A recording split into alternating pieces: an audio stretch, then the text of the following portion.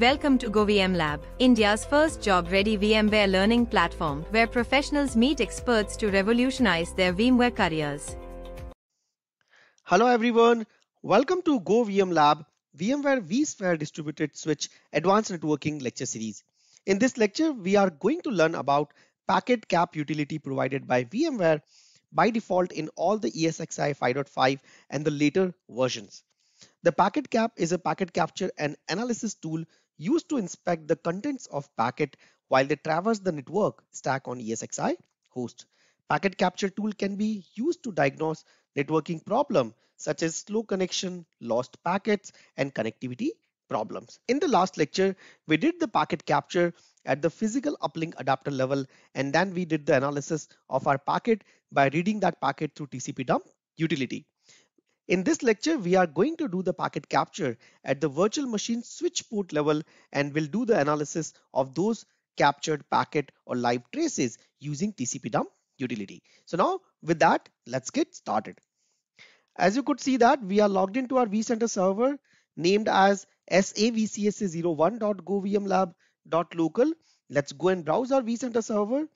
Within that vCenter server, we do see a data center created named as SA data center.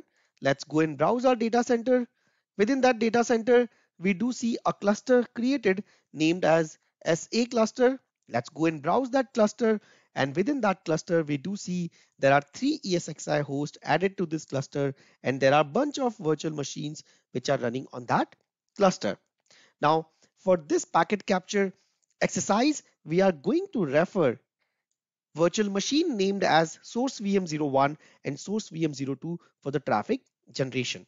So we would be generating traffic between these two virtual machines and then we'll be doing the live capture of that traffic and doing the analysis of that capture using packet cap and TCP dump utility. Now before we go and start generating the traffic between these two virtual machines, let's have a quick review of our vSphere networking configuration. So click on networking and we do see that there are two distributed switches created on our vSphere infrastructure. Let's go and browse our very first distributed switch named as VDS site A. So click here to browse our VDS. Within that distributed switch, we do see there are two port groups created. The first port group named as DVPG VM network for virtual machine traffic and the second port group is a well-defined DV uplink port group.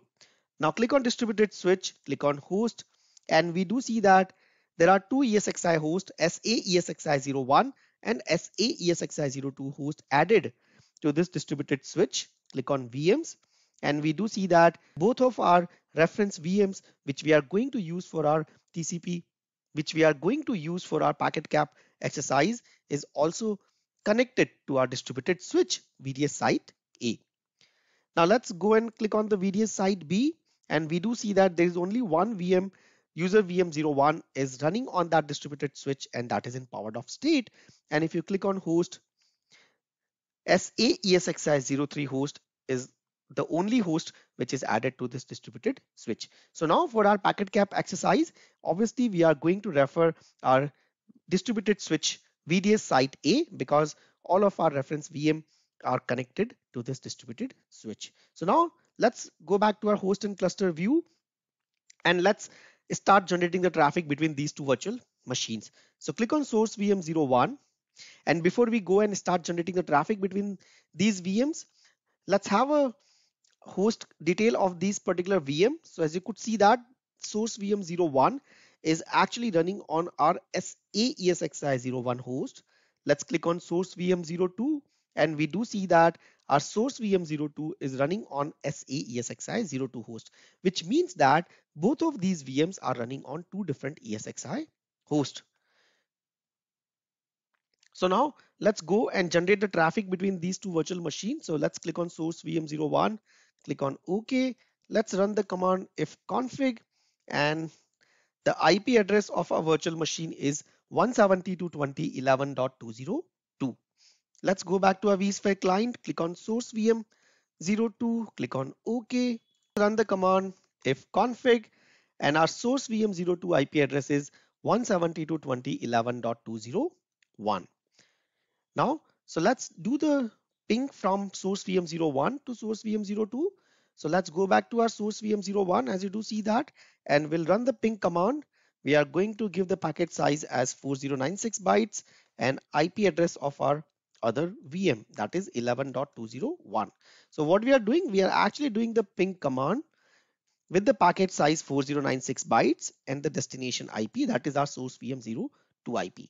Now press the enter key and we do see that our ping traffic has started successfully and we have a network reachability between these two VMs. So now let's go. So now let's log into our ESXi host where this particular VM is running and let's try to do the packet capture. So as you could see that we are logged into our SA ESXi02 host. So now let's run the command ESX top, press N for networking view and that's the default view of our ESX top command for networking statistics. So now we do see that our traffic has started successfully for this particular virtual machine. So now let's do the packet capture. So let's come out from this ESX top. Thank you for watching this video. If you want to continue watch this lecture, then join our exclusive YouTube membership program only at the price of 299 rupees INR per month and unlock your VMware potential with GoVM Lab. With this membership program, you can unlock all of our members only content published on our YouTube channel. You can watch out the videos presented on your screen to know the benefits of GoVM Lab subscription as well as the membership program. Thank you.